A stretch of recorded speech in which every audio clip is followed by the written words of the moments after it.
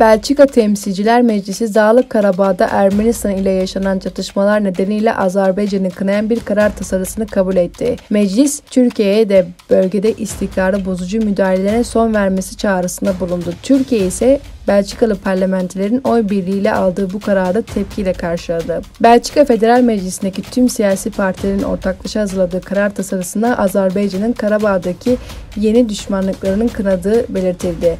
Oy birliğiyle kabul edilen tasarıda Belçika hükümetine savaştan etkilenen Ermeni nüfusa yardım etmek, savaş suçlarını izlemek ve ateşkesi korumak için bir dizi önlem alma çağrısında bulundu. Belçikalı milletvekilleri Dağlık Karabağ'ın sınırları ile halkın kendi kaderini tayin hakkına saygı gösteren bir barış anlaşmasının müzakere edilmesini de istedi.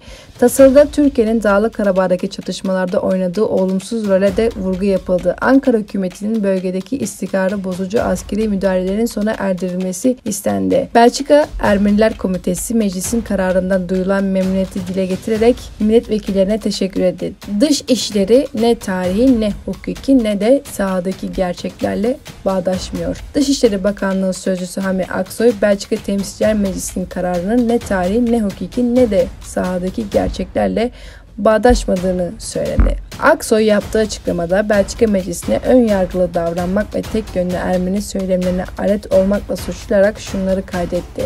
Söz konusu karar Türkiye-Belçika ilişkilerine katkı yapmayacağı gibi bölgede barış ve istikrar sağlanmasına yönelik çabalara da hizmet etmeyecektir. Bu tür kararlar ayrıca Ermenistan'ın gerçekleri kabullenme sürecini geciktirerek üzerine düşen sorumlulukları üstlenmekten kaçmaya teşvik etmektedir. Aksoy 1915'te Ermenilerin maruz kaldığı sürgün ve ölümlere atıfta bulunan kararın da Avrupa İnsan Hakları Mahkemesi başta olmak üzere hukukun temel ilkelerine de aykırı olduğunu söyledi.